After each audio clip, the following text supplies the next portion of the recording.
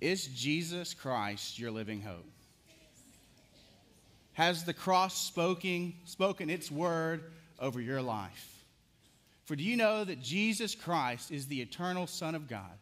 God from God, light from light, true God of true God, begotten, not made, of the same essence as the Father. And he took on flesh, became human by the Virgin Mary and the Holy Spirit. And he did so for us and our salvation.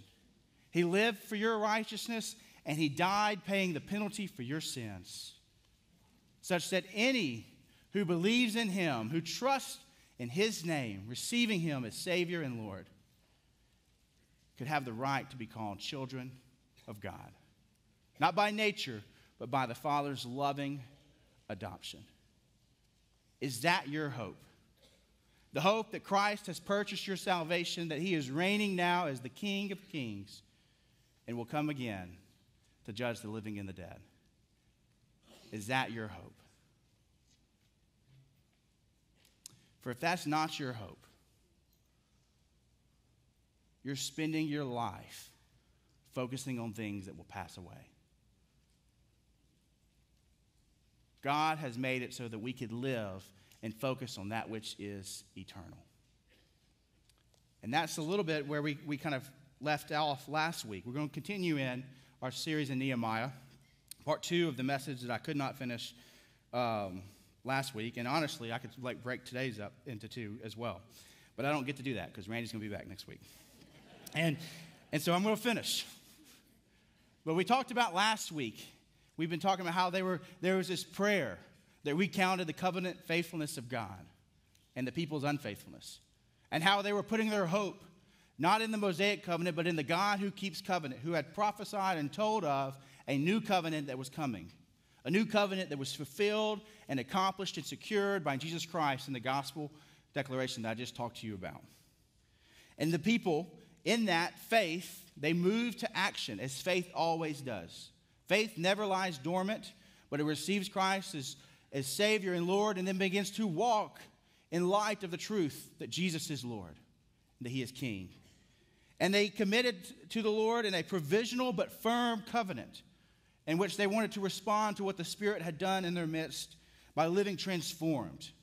And we talked about how the Spirit transformed us and gave us hearts that were committed to holiness, and how the Spirit would, would captivate us with the beauty of Christ he would reform our beliefs, renewing our minds, and that He would strengthen our wills weakened by the flesh. And that we need to be careful to avoid the lies of legalism and lawlessness. But that we still needed to be committed to holiness, that God's grace and holy living are friends, not enemies.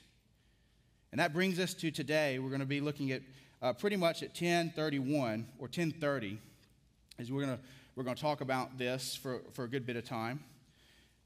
Because after entering into this covenant with the Lord, the first specific commitment that was made by the people had to do with protecting the sanctity of the household. And this is important. This is one of the, the key points I want us to walk away with. I think it's actually the only point that I have bolded in, in the handout. I'm not sure. Taylor's, Taylor told me to not bold some things and bold some other things, so I, I don't remember exactly what I did. And so the point is this that the Spirit works through godly communities, I mean, godly households, connected to the broader community of faith to build up the next generation. You see, this generation that we're reading about in Nehemiah, they had experienced the Spirit's work of revival, and they wanted that to continue in the next generation. And, this, and what we're seeing here is that the Spirit works through godly households connected to the community of faith to build up the next generation. Now, I just want to take a moment before I continue in this to address the unmarried in the room. Now, some of you are unmarried because by your choice, some by divorce, either a lawful divorce or maybe even an unlawful one, and some are widowed. I just want to speak a few words to those who are unmarried in the room right now. One, singleness does not render you a second class citizen in the kingdom of God. Two, you do not need marriage or kids to flourish in this life or ministry.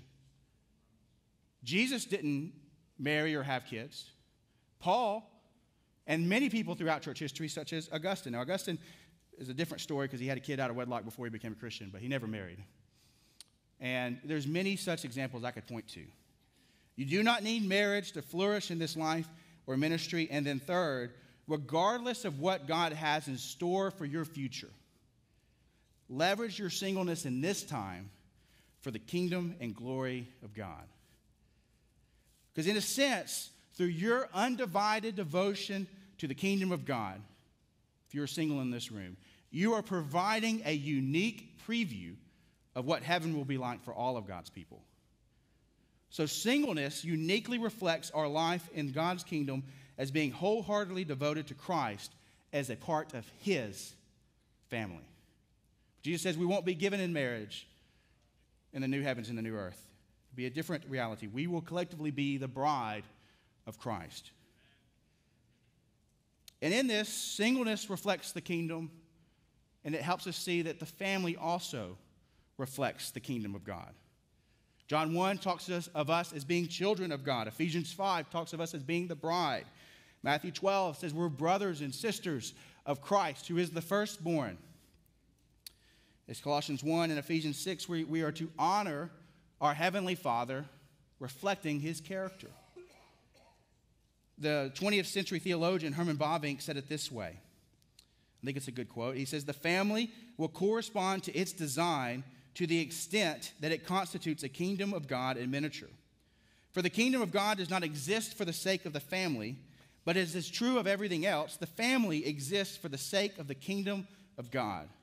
The husband is the image and glory of God, the head and priest of the family, as Christ is the head of the church. And what he means there is, is that the father and husband is the spiritual leader of the household, not some kind of like mediator that stands between someone and God. That's not true. But we, we all have direct access to God through the Holy Spirit. But in the household, husbands are designed, or by God's design, to be the head and spiritual leader of their household.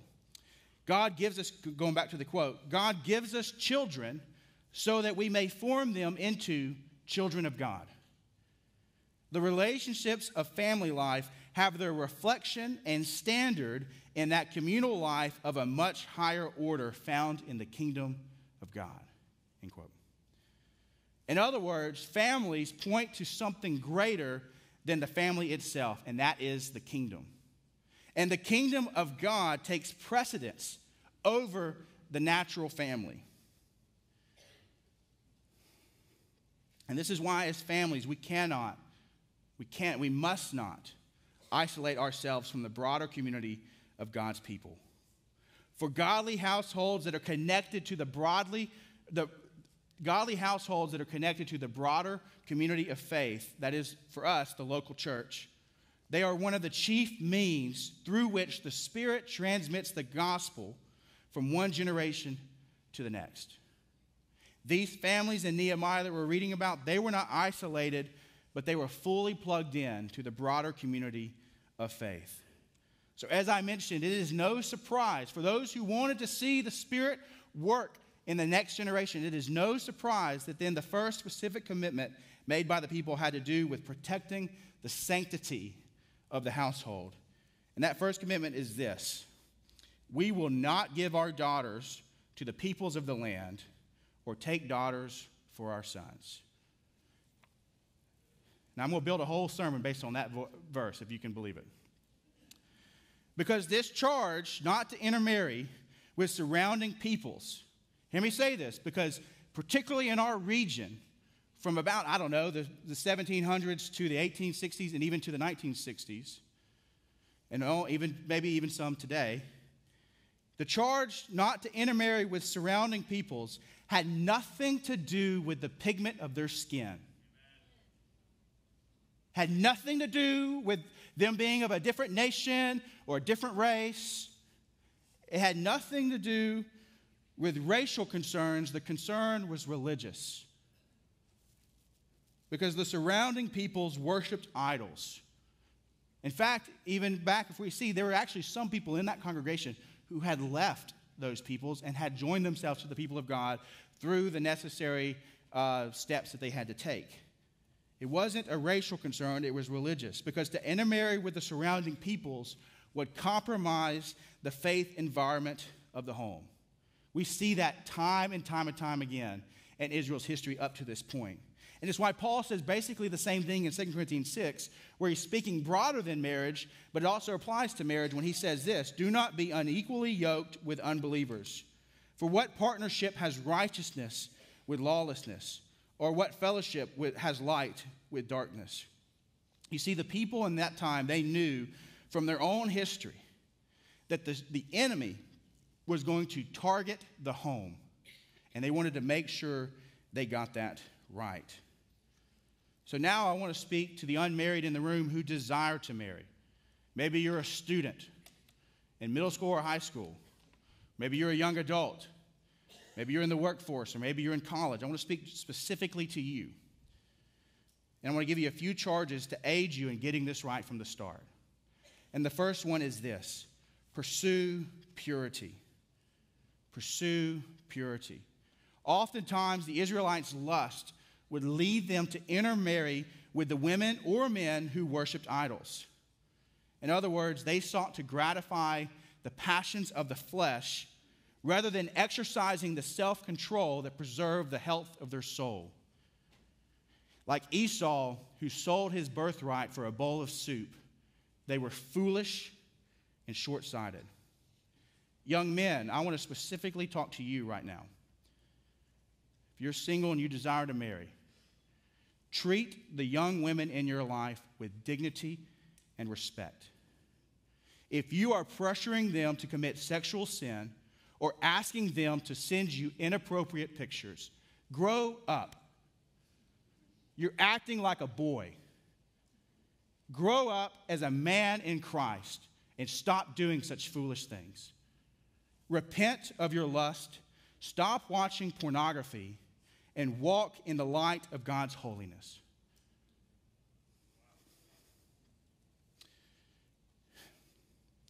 If you desire to marry as a young man or a young woman, or anyone who desires to marry,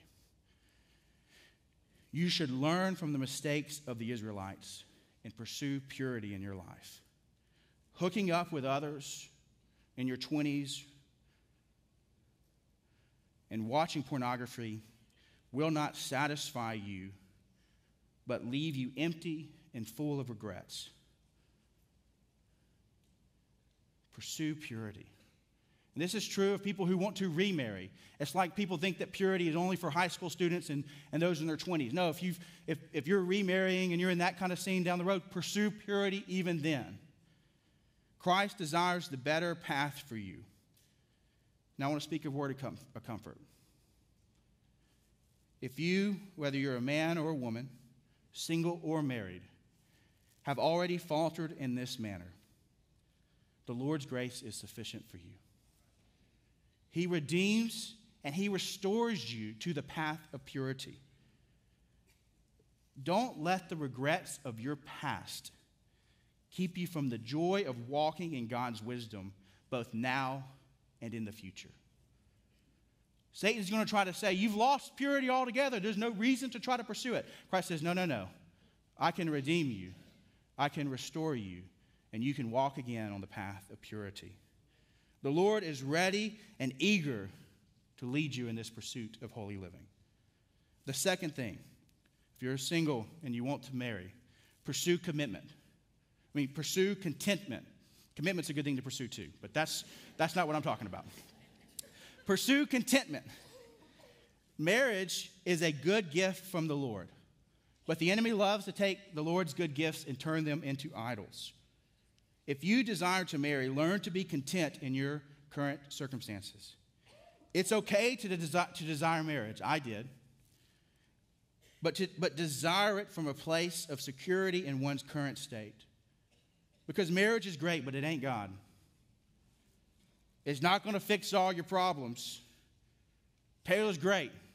She ain't going to fix all my problems. And I, I, for sure ain't going to fix all hers. So, I mean, we, we're, we are both, uh, that, that sounded worse than it was. It meant to make it worse on me. That joke is on me, not on Taylor. So, anyways,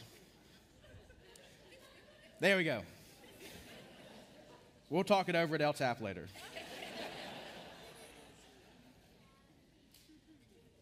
If you if you fail to learn contentment in singleness, you're going to struggle with it in marriage too.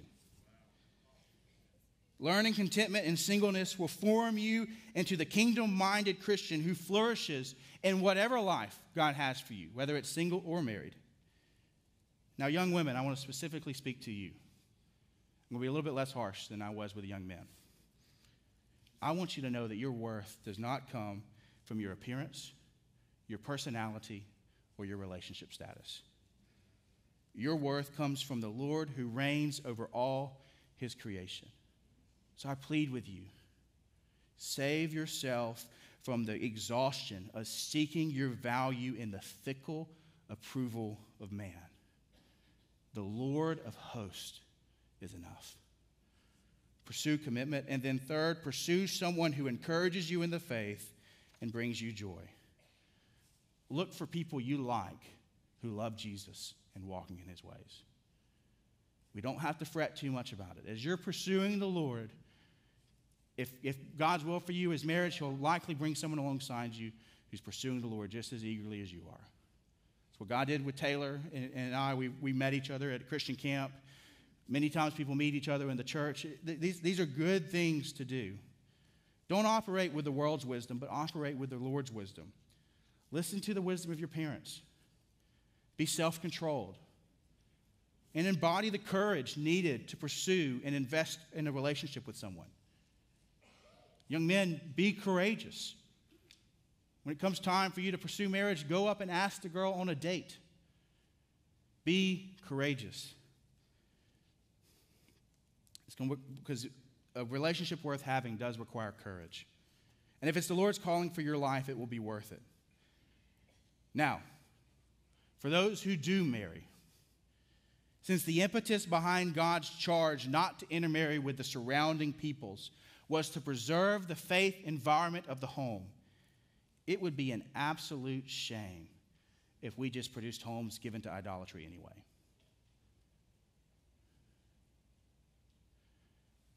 As a household, whether you have kids or not, even though I'm going to speak specifically to those who probably have kids, we ought to cultivate a home environment that promotes true worship.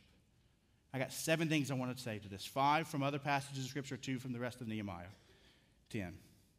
And the first one is this parent with the end in mind. God, in his parental love for us, he sanctifies us in this way by the Spirit. Because as Paul says in 2 Corinthians 3, that we all, with unveiled face, beholding the glory of the Lord, are being transformed into the same image, from one degree of glory to another, for this comes from the Lord who is the Spirit. Ultimately, everything God decrees for our lives and his infinite wisdom is moving us to the same exact end, and that is to be conformed into the glorious image of Jesus Christ. And we ought to parent with a similar intentionality and wisdom. For in our parent, we are forming our kids into some image. Inevitably, because of the state in which we live and because of the fact that we're all sinners too, this image will reflect Christ and the world to varying degrees. And our goal is that they reflect Christ more than the world. Proverbs 22 6 is a general proverb that says, Train up a child in the way he should go, and even when he is old, he will not depart from it. This ought to be an encouragement to us and a warning. Those who parent with godliness as their goal generally raise godly children. Not always, but generally. And those who parent based on the values of the world, generally, they raise worldly children. And come 16, 17, 18, they're coming to Matt asking him to fix their children. But they've already set them on their path. Not that the Lord can't change them, He can. But be warned. So, one of the most important questions, parents, that you need to answer is this What sort of person do I want my child to become? Spoiler alert. The answer should be something like I want my child to be someone in their, who, in their unique calling and identity, loves God and others well as they make Christ known. Clarity on this requires you to know your child well, to know God's wisdom, and to be firmly committed to God's mission. And then once you're clear to the answer to that question, you begin to parent your, your uh, you begin to filter your parenting decisions through your answer? Does allowing my child to participate in this lead to the goal of them being godly reflections of Christ? Of allowing them to have this device or this social media platform at this age, or be on this team, or be in this show, or whatever it may be. Filter your parenting decisions through the answer to the question what sort of person do I want my child to become? Look above the urgent. Don't settle for the easy. And parent according to the wisdom of God with the end, of mind, end in mind. And then, two, shepherd the heart in love and patience. This is one of the key things that Randy told me, I don't know, four or five years ago when I asked him for, you know, what would you say the biggest advice for parenting would be? And this is what he said. And this approach to parenting will stretch you in many ways. For not only will you be walking with your children through their sinfulness, but you will also be confronted with your sinfulness along the way. In this pursuit, let me, let me just tell you, because all of these, like, I am learning from and, like, fall desperately short of. You will be presented with a temptation to merely modify behavior and achieve short term wins through anger. Resist this temptation because there are a lot of well mannered people going straight to hell. And the anger of man does not produce the righteousness of God. So, as Colossians 3 says, don't exasperate your child. Patiently and lovingly shepherd their hearts as you bring them up in the instruction of the Lord. Fathers, especially you, show love to your children. Hug them, kiss them, tell them that you love them and that you're proud of them and proud to be their dad. Show them patience and love. They need to see that from you and feel that from you. And then, third, keep the conversation open. Talk with your children about the Bible and answer their questions.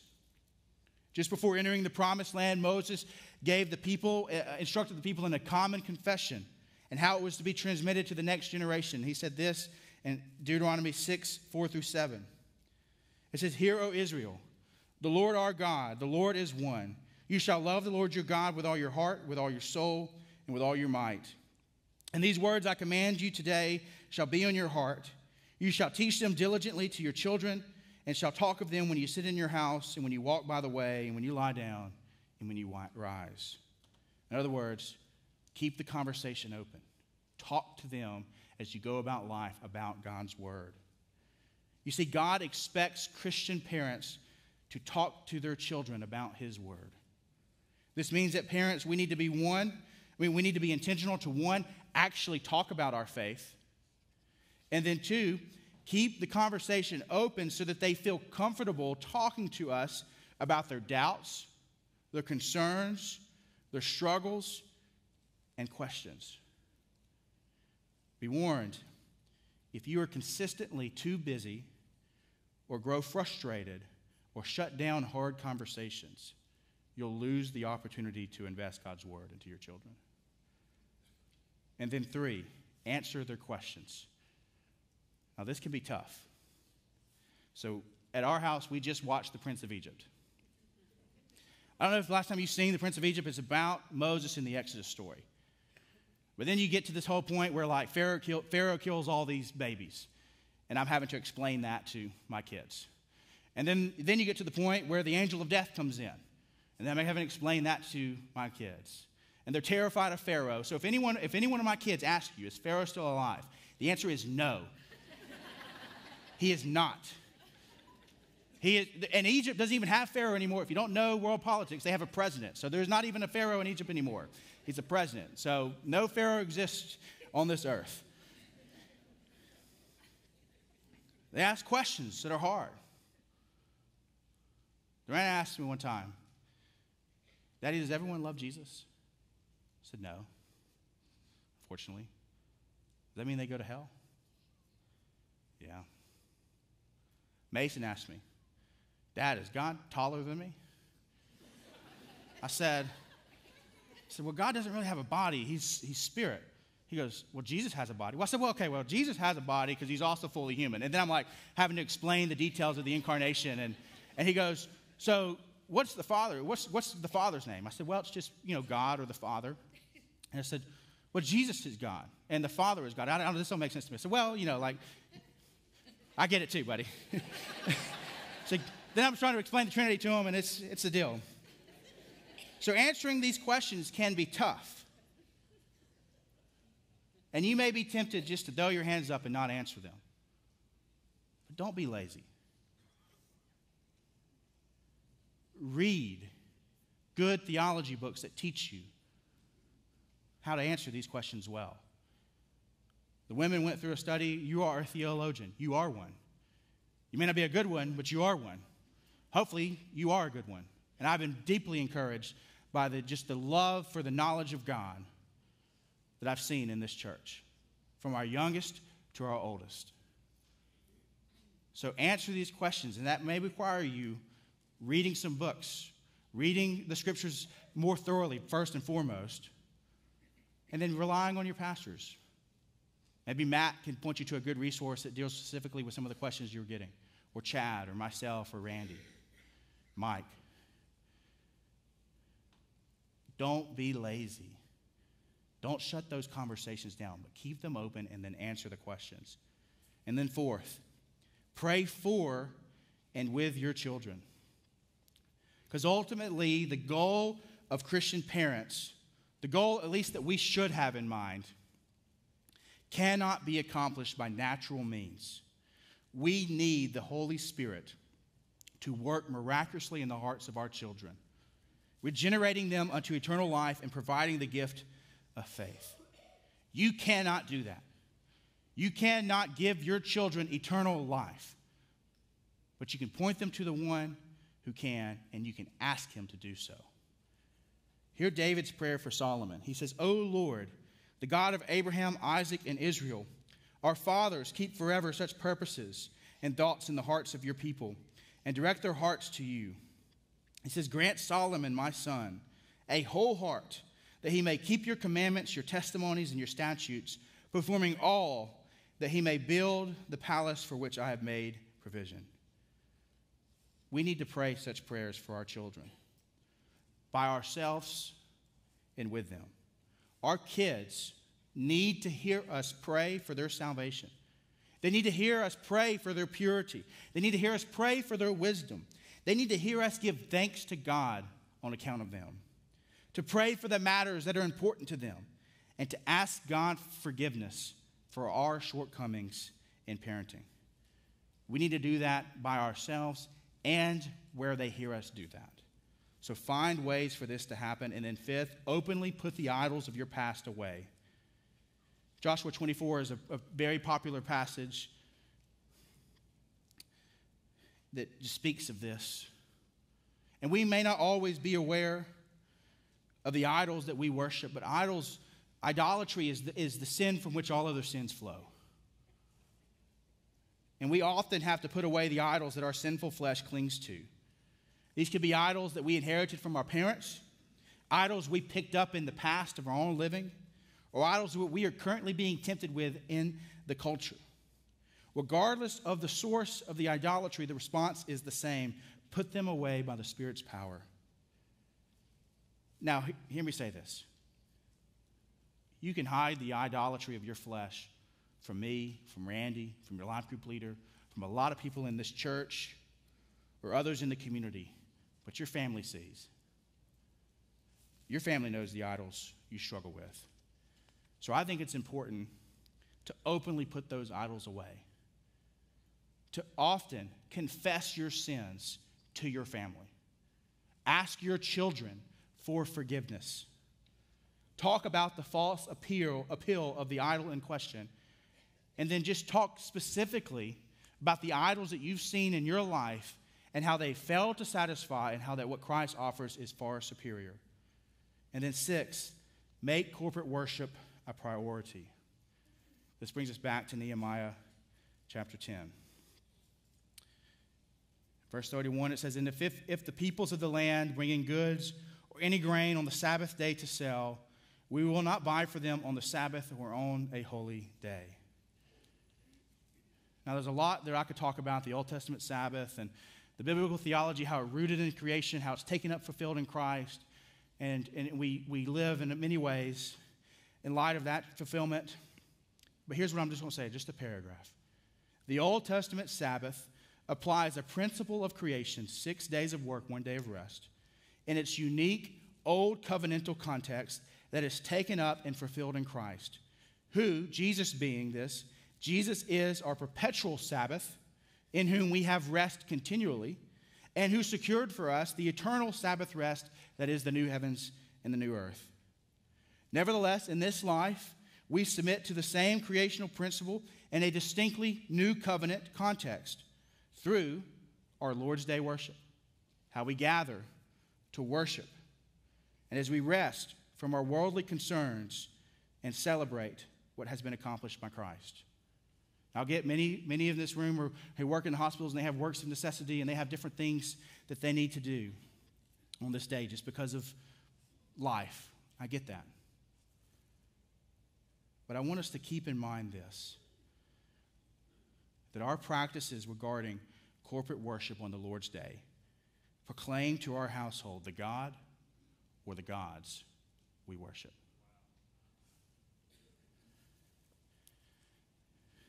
I love baseball.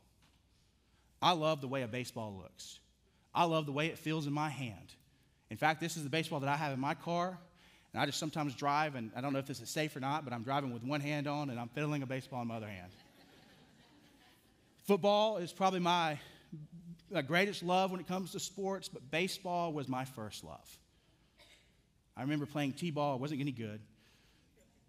But I remember watching the Braves on TBS and just watching them win, this, win the division and then losing the NLDS um, many times. And so I was very excited when they won the World Series. I love that Mason is playing baseball right now. I'm proud of him when he plays and he makes a good stop. He caught a ball in the air at pitcher this, this his first game. He stopped a, a pretty hard ball with his throat, which I was proud of. I was yelling at him to pick up the ball and tag first because he was at first base this time. He didn't, but I was still proud of him. I hugged him. He was, he was upset. Few things are as aesthetically pleasing as the baseball diamond and the grass. I love baseball. Can I tell you something else about baseball? It makes a crappy God. It makes a horrific God. And you could be trying to disciple your kids to love the Lord. But if you consistently miss Lord's Day worship for travel ball tournaments, you know what they hear from you? Baseball is God. Take out baseball, put in something else. Your work, some other sport, some other extracurricular activity, or just a few extra hours of sleep your corporate worship practices on the Lord's day proclaims to your household the God or the gods that you worship. Taylor caught that. It was good. And Chad is relieved because I told him I was going to throw it to him, but he didn't have to catch it. So make corporate worship a priority. It's worth it. It's what God expects of us. Why would we not want to rest together and celebrate the Lord together? It's what we're going to do for all of eternity. This is how we get to anticipate our eternal life with Christ. Why would we not make it a priority? You'd be like, Hunter, you're paid to be here. I, I, am not here because I'm paid to be here. There's a lot of other things I could be doing to make a lot more money. I am here because I love the Lord and I love you guys. And I want to rest together with you. And I want to worship Christ together with you. Randy's the same. Any one of our pastors are, are the same. Make corporate worship a priority. And then, seventh, model a living faith and a cheerful generosity. I'm just going to read the rest of 31 and 32, which continues into a lot of other ways they give and through the rest of the chapter. It says, And we will forego the crops of the seventh year and the exaction of every debt. We also take on ourselves the obligation to give yearly a third part of a shekel for the service of the house of our God. And basically, what that's saying is we have an obligation to give a certain amount of money so that the worship in God's house could continue. And it goes on and talks about all the different ways that they're going to give. There's very they're very intentional. They're, they're offerings that are going to help them live out the Levitical law uh, to a T. But they require the generosity of the people. And so, in the time of the Old Covenant, God required, just so you know the kind of the context of what we're talking about here, God required that every seventh year that the land would have rest from being planted. So they would plant for six years, and then they would not plant anything in the seventh. And in fact, Israel never did that from the time of the giving of the law to the time of their exile. Whatever, whatever year, whatever grew that year was supposed to be their food. And they would learn that they could rely on the Lord and that He would provide. And also, the law stipulated that every debt would be forgiven in that seventh year. And this was God's protection for the poor in that economic system. And it tested the people's generosity. I'm sure they weren't the best at that either. And additionally, as, as I said in this, the rest of this chapter, is that people had various ways in which they supported worship in God's temple. And this, I believe, what Nehemiah is doing, what the people are doing, they're talking about the importance of families who are called to model a living faith in their God and a cheerful generosity that cared for the poor and sought to promote worship. So today, although the forms look different, the principle remains the same. Godly parents model their faith and their generosity for their children. Think about how you can model generosity for your children in a world of online giving, too. Let them know that you're giving. I know we pass the offering plate every time, and I know most of us give online. I do. But think about ways you can creatively model generosity for your children. Because in many ways, the character we desire our kids to have is more caught than it is taught. Do as I say, not as I do, should never be a sentence that crosses our lips. As we seek to cultivate a home environment that promotes true worship, we must model the living faith and cheerful generosity that befits one who has been redeemed by Christ. Now, to bring this all to a close, one, I recognize many you'd be thinking this is this. I don't have kids. You can still cultivate a, a, a household of true worship that pours into many spiritual children. Paul did this, and others. I also recognize that some might be feeling a sense of shame. I do not preach this to shame anybody.